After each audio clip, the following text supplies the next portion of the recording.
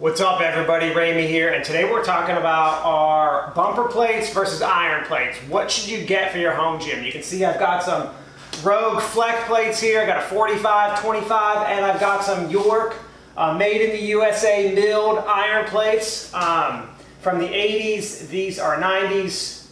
These are a 45 pound and 25 pound York milled plate.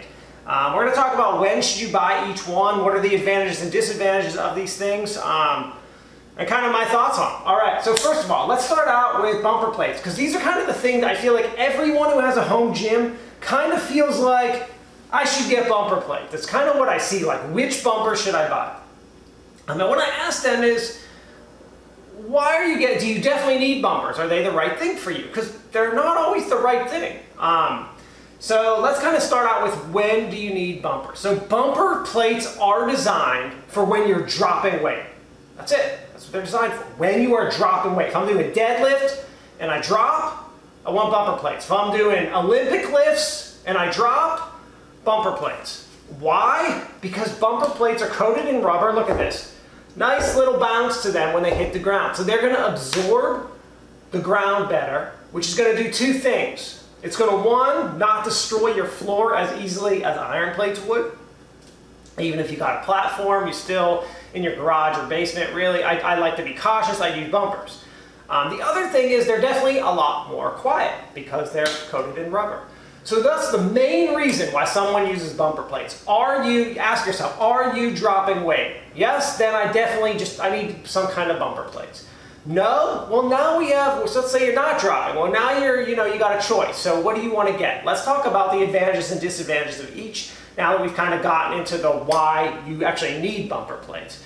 All right, so bumper plates, um, advantages of them besides being a little more quiet and besides being able to be dropped, um, have some other advantages. Another advantage is that since it's coated in rubber, you don't need to worry about it rusting like I do, especially for these older plates here, which I got to coat in oil every once in a while. Rubber's not to rust. Um, however, what rubber does do is rubber fades and gets old. So I actually have had to clean these one time.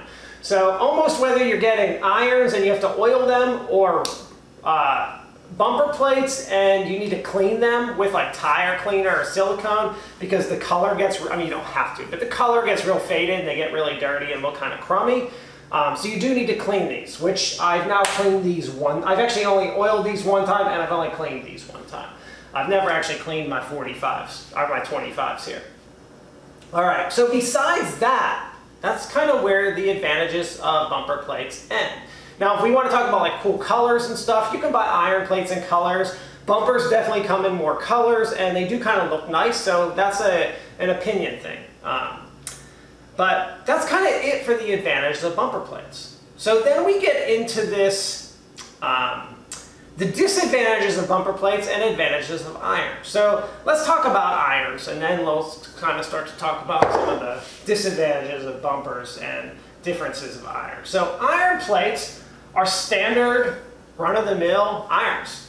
Um, one of the things you'll notice immediately about iron plates is that the 45s of bumpers and irons are pretty much identical. Obviously that varies by company and you need to measure it. Um, they can differ a little bit, but in general the 45s are the same diameter. Look at these two 25 pound plates here. Look at the difference in diameter of them. So the 25 pound irons versus the 25 pound bumpers are two different sizes. Now why is that? Why would these be two different sizes? Because when you're dropping bumper plates, you want them all to have the same diameter so that the force is being applied evenly, not just on the 45 pound plates, which is why they're bigger. Now that bigness, while cool for deadlift and uh, Olympic lifts where you're dropping weights actually in practicality kind of stinks in the gym.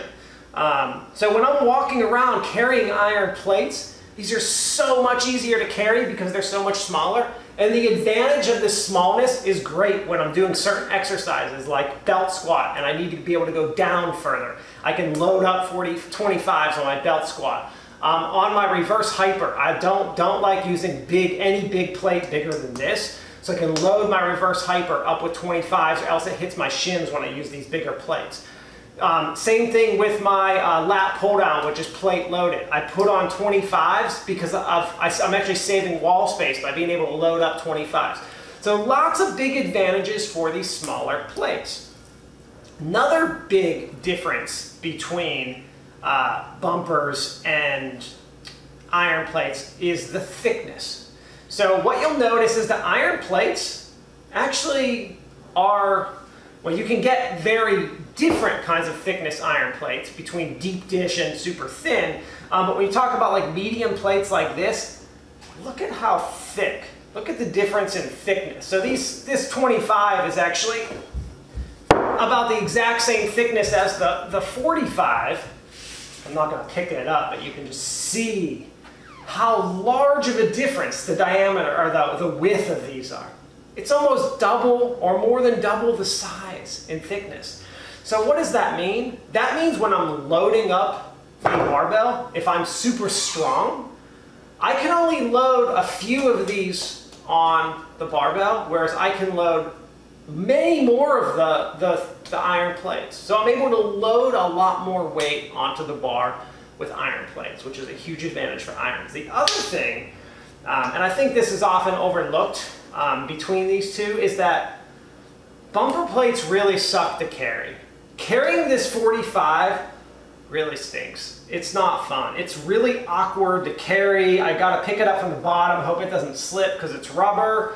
Um, and it gets slippery like when I clean it. And it's just awkward to carry. I can't like put my hand in here. Like there's nowhere to like hold onto. Like there's nothing to hold onto here. Versus my 45 pound barbell plate there's a nice ledge here for me to grip as I'm grabbing. It's also, it's you know, the bumper's so thick that it's just awkward to hold. This is thin and I can grip and hold this like a handle.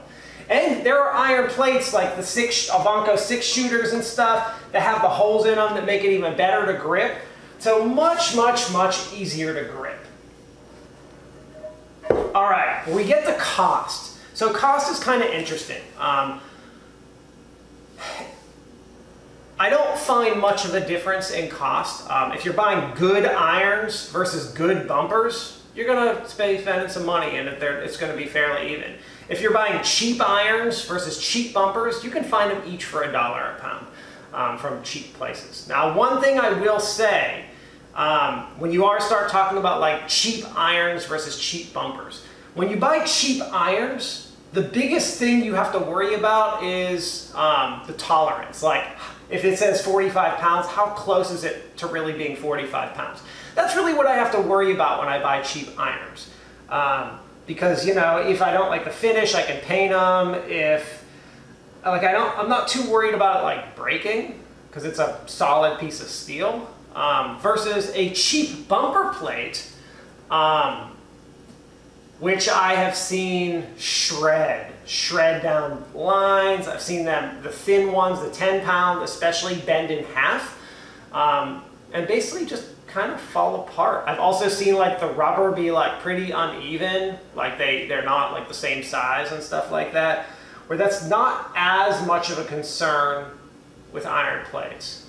Um, you know, different size bumpers is a big concern, like on deadlift, if they're different sizes, that's problematic. Whereas like on bench press with my iron plates or squats, it doesn't really matter too much. Um, they can be different sizes.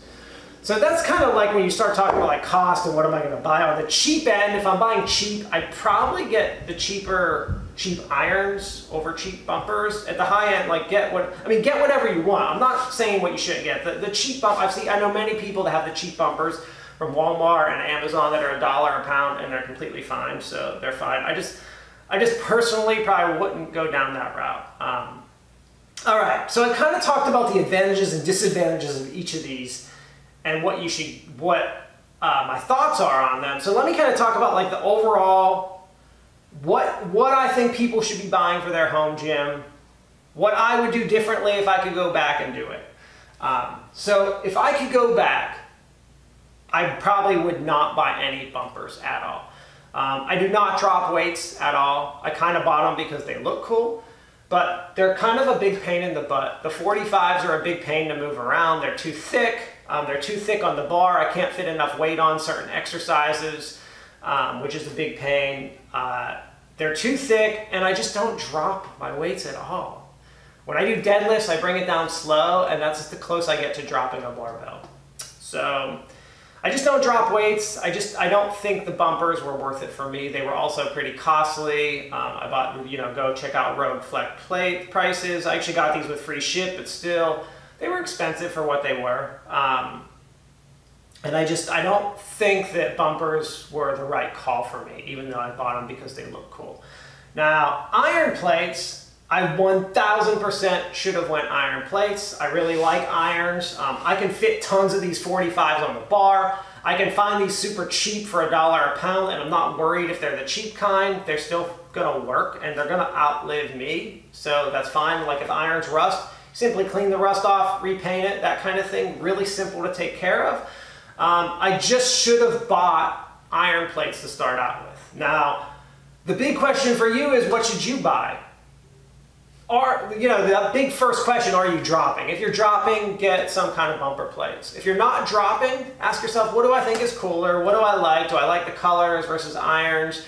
That kind of thing. Um, am I worried about like carrying these things around the gym because these bumpers are a huge, I can just tell you, they're a huge pain in the butt. You first get them, you're gonna say, oh, it's not bad, I can do that. But you know what, like three, four, five months in when you're carrying these things around after you're dead tired in the middle of a workout, you really wish you had something that was easy to carry around, especially when you're dragging like four or five of them around. It, it's a big pain and it sucks. Um, so kind of consider that when you're looking at bumpers versus iron plates, like what do you really need? Now, which type should you get? Because there's so many kinds of bumpers and so many kinds of irons. That's a different video. You got to do some research. I'll do some more videos on that. Go search out what else is out there. I'm talking about in general the iron versus bumper. Um, but that's the big thing. It's really, am I dropping versus not? Um, and then, you know, a little bit of maintenance, quiet, um, things like that can matter versus look and feel. What do you want to get? But, you know, your plates do kind of define your gym. It's what people see besides your rack and barbells. Like, what kind of plates do you have? So I've got the Rogue Fleck, which looks super cool, and I've got the old school York, made in the USA, milled plates, um, which also say something about me. So yeah, those are my choices. Those are my thoughts. I'd love to hear why you get rubber versus, you know, bumper versus iron plates. Those of you who are new to home gym and thinking about what you should get, I'd love to hear like your rationalization about what you're deciding you actually need. All right, y'all, later.